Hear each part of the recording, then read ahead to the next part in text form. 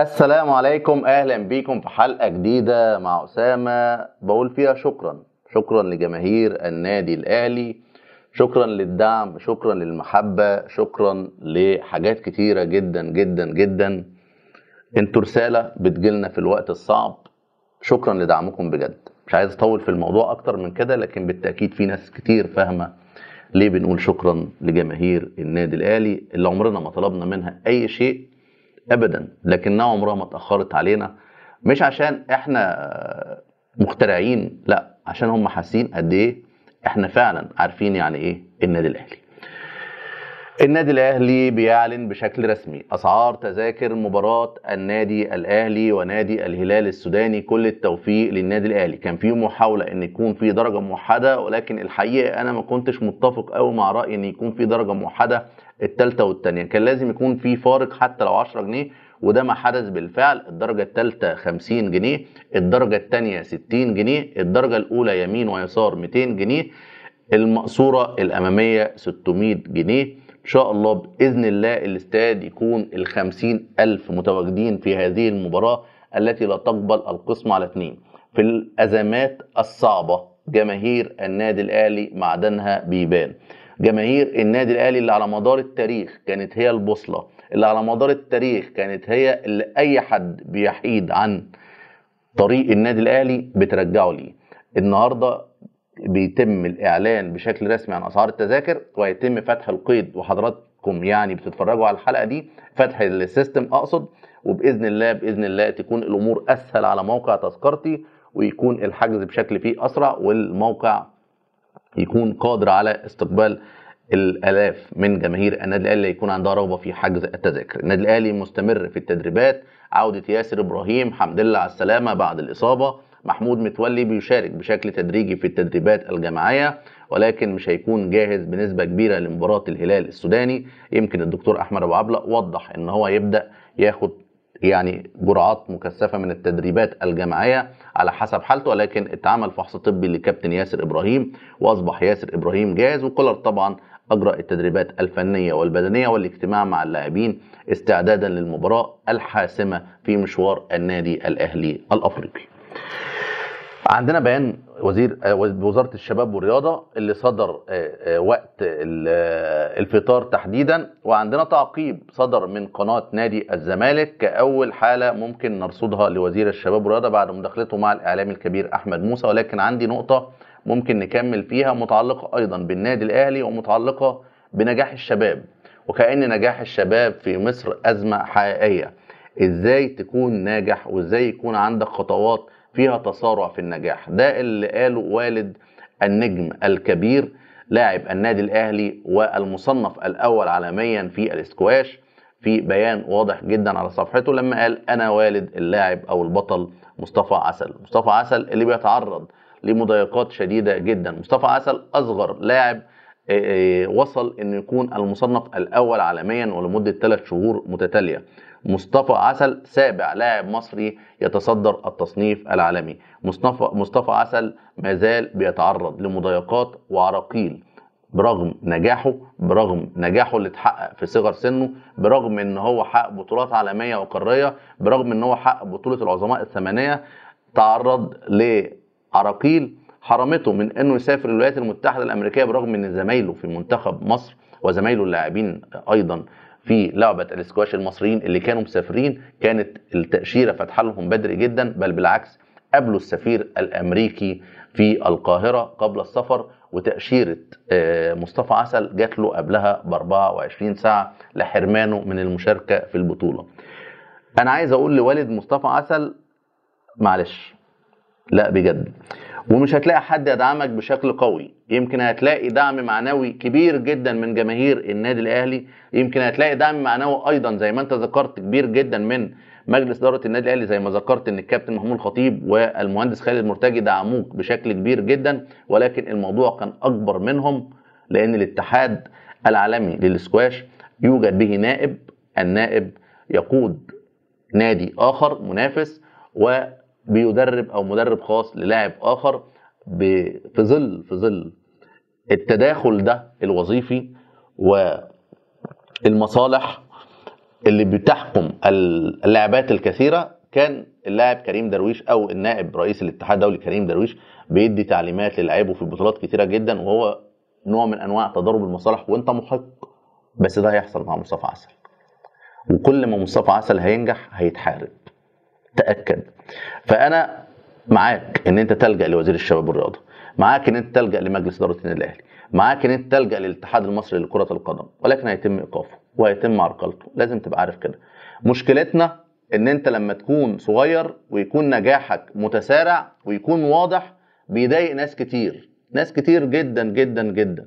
هتلاقيها بتعرقلك هتلاقيها مش عايزاك تنجح. فأنا بقول لوالد مصطفى عسل قدرك قدر ابنك البطل الحقيقي للعبة المصنف الأول عالميا إن هو يتعرض لمثل هذه المضايقات. جماهير النادي الأهلي في ظهرك وفي ظهر ابنك ولازم لازم تكون قد قدرك ده. وحارب وحارب وصدقني الأفكار لها أجنحة وصدقني هتنتصر في النهاية لأن اللي بيعرقلوا مسيرة ابنك عارفين كويس إن هو عنده قدرات لا يملكوها عارفين كويس إن هو ناجح ويستطيع إن هو يسبق الجميع. فعشان كده هيفضلوا يعرقلوا ويعرقلوا ويعرقلوا. خلي ابنك ماشي في طريقه وكلنا وراه. ومصطفى عسل هيعود مرة أخرى لصدارة التصنيف لو ضاع منه خلال الشهرين ونص اللي هو توقف فيهم بحجة اللاعب الخشن. وأتمنى من كل مسؤول وأتمنى من كل شخص بيعرقل أي شخص ناجح. يا أخي كفاية بقى كفاية بقى بجد. صدقني والله مهما حاولت الأفكار لها أجنحة. واللي بيمتلك الموهبة هيوصل هيوصل. نروح لنقطة تانية غير مصطفى عسل ونروح بما إننا اتكلمنا عن المهندس خالد مرتجي. نروح لبيان وزير الشباب والرياضة الأول والمكالمة اللي اتكلم فيها مع الإعلامي الكبير أحمد موسى. اتكلم بوضوح عن إن محتاجين يكون في تعاون.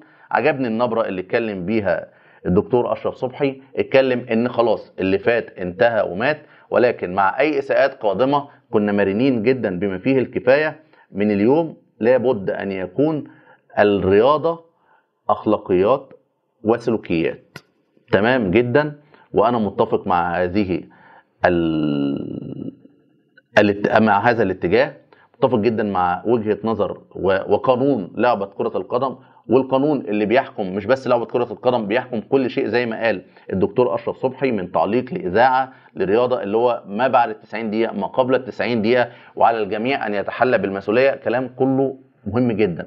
حتى هو يعني استطرد وقال إذا كان بيتقال مش هيتطبق لا إحنا هنبعت وهنفسر ولازم الناس تبقى عارفة القانون وهنطبق وهيكون في لجان ترصد كل خروج عن النص وكل محاولة فيها يعني تقليل من شأن الآخرين وفيها تجاوز فبقدم له أول هدية.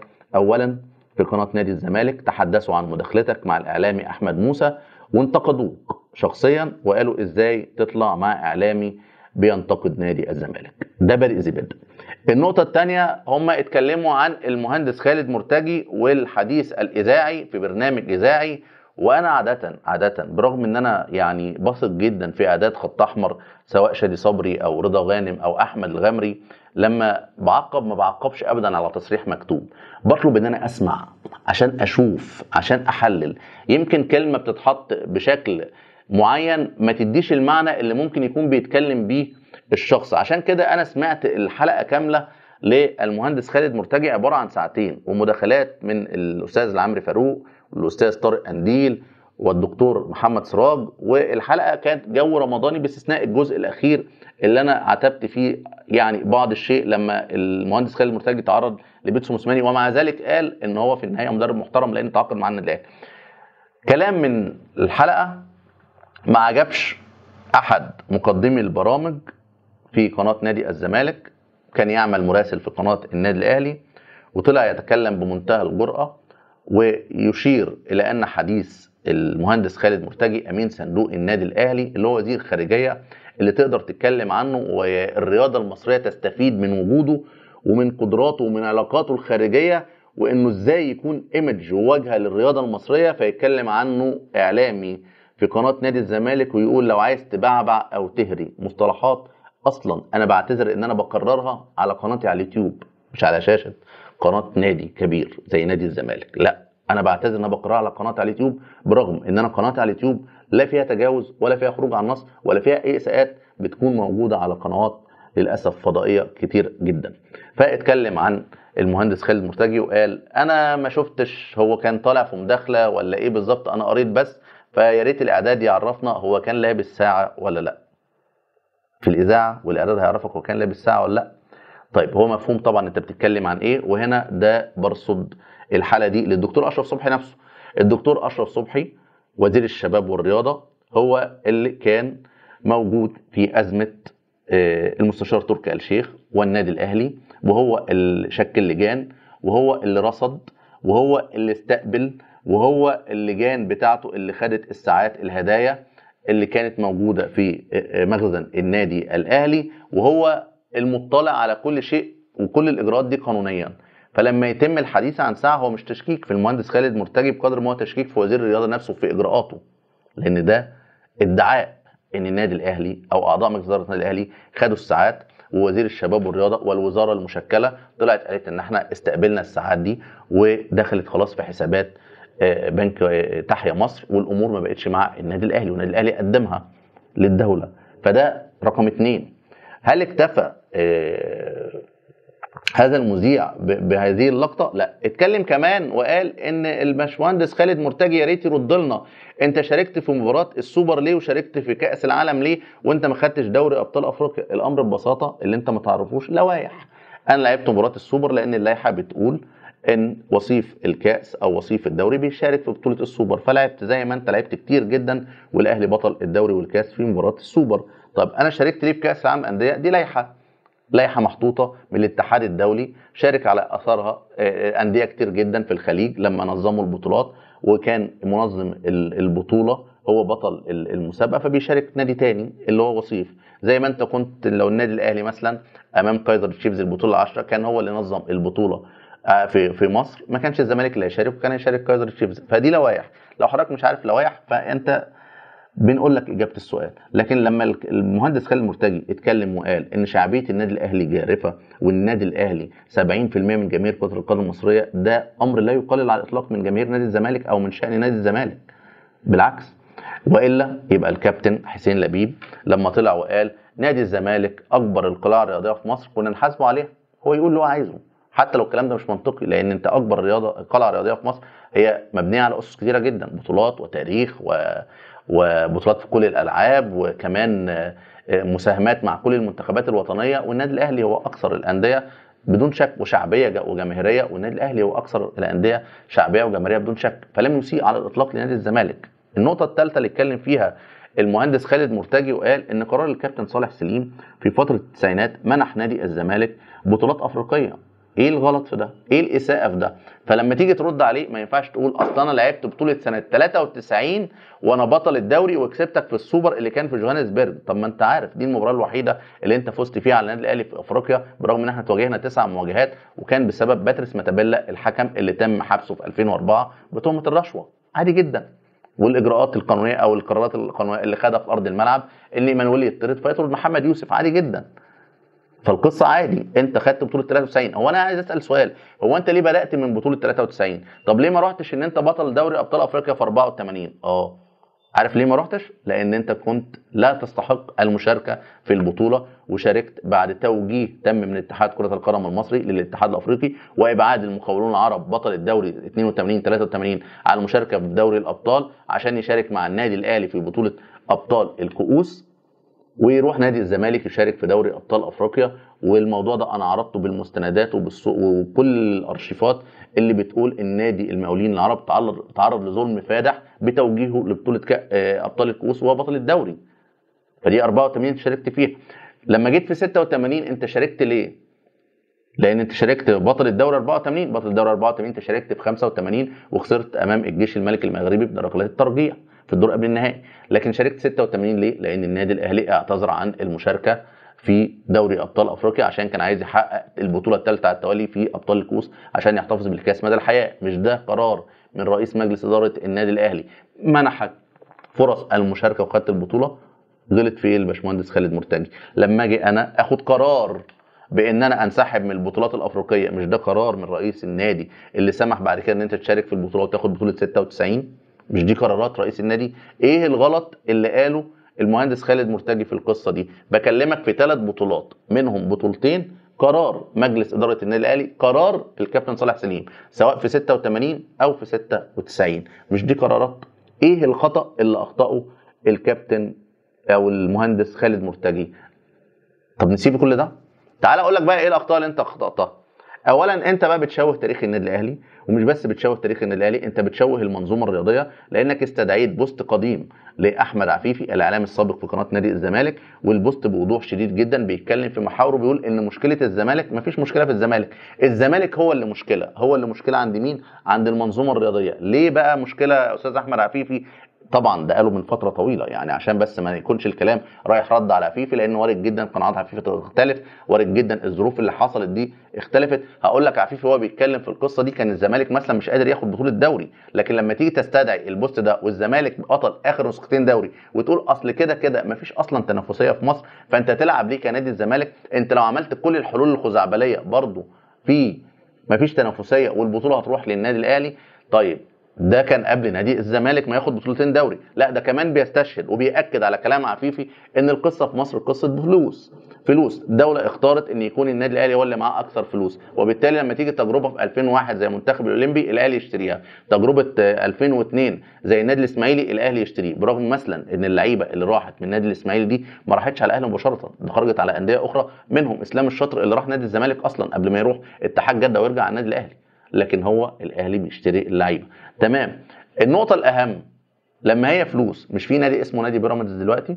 قدر ياخد من أبناء النادي الأهلي بواحد من أهم اللعيبة اللي كان له تاريخ كبير جدا وبيعد إن هو يكون أحد أساطير النادي الأهلي زي رمضان صبحي؟ ما عملش حاجة ليه نادي بيراميدز؟ لما هي القصة فلوس ما خدش بطولات ليه؟ مع كامل احترامي نادي فيوتشر أول سنة بيلعب فيها بياخد كأس الرابطة. ما قدرش ليه نادي بيراميدز ياخد كأس الرابطة؟